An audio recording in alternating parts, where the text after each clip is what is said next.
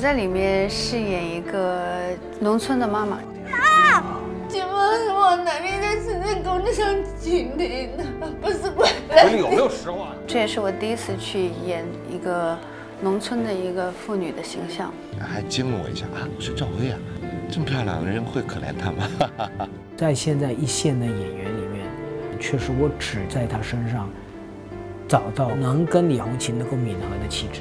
陈可辛导演是一个那么有经验的一个导演，既然你说我行，你是导演的话，那就去冒一把险吧。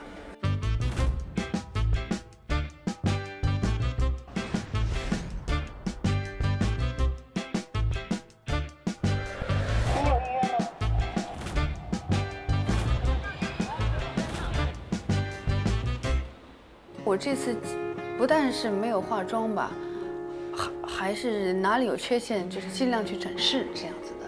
因为我演的毕竟是一个一天到晚种地的一个人，他不可能对外表啊，或者是皮肤啊，对很多这些东西过多的这种装饰，我甚至于还要追求一些粗糙。我反而觉得她这样穿很漂亮。我的妈呀，我都认不出我自己了。非常好。你弄丑、弄难看，全弄齐了，再加上演的不好，你张薇，你这次就完蛋。你只有演好，你没有退路，这就是我的感觉。你必须演好。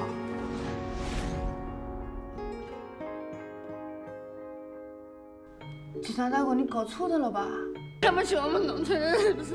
我们怎么不能把小两口养好了？我不是说我忘记了，我只是不太熟练去使用它了，所以我不断的跟导演说，我可不可以用普通话去演？观众看完都会明白为什么他必须得讲方言。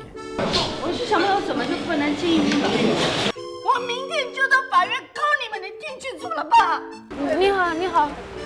我我想找下唐先生。他的那个节奏，他的那个二，他的那个可爱，包括喜剧感，都是来自那个方言。我是农民，我那你事情跟我讲，结果是在工地上被捡到的。那么，所以很多时候拍的时候，可能我都是一知半解。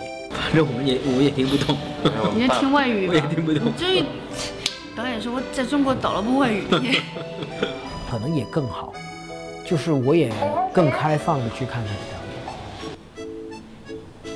然后我妈妈就说：“哎呀，他你的安徽话挺土的。”我说：“土不怕，别人听不懂也不怕，只要能讲的自然就可以。”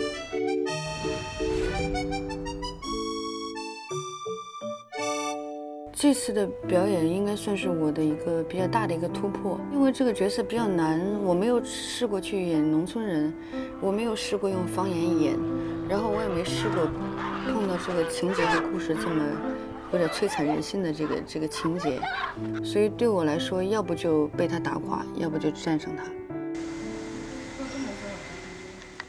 像真的吗？真的不得了！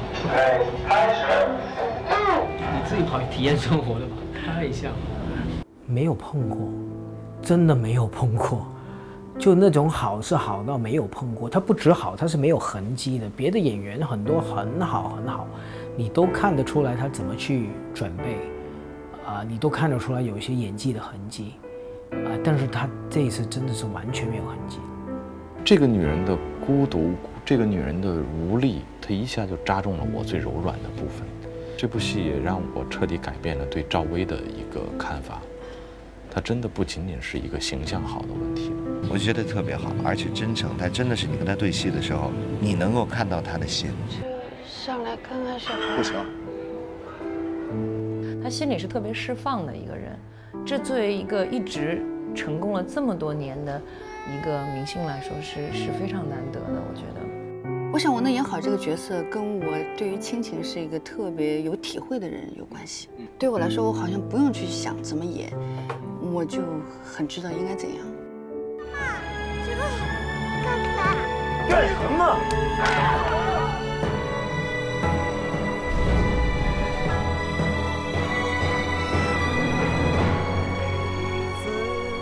都在徘徊孤单中坚强。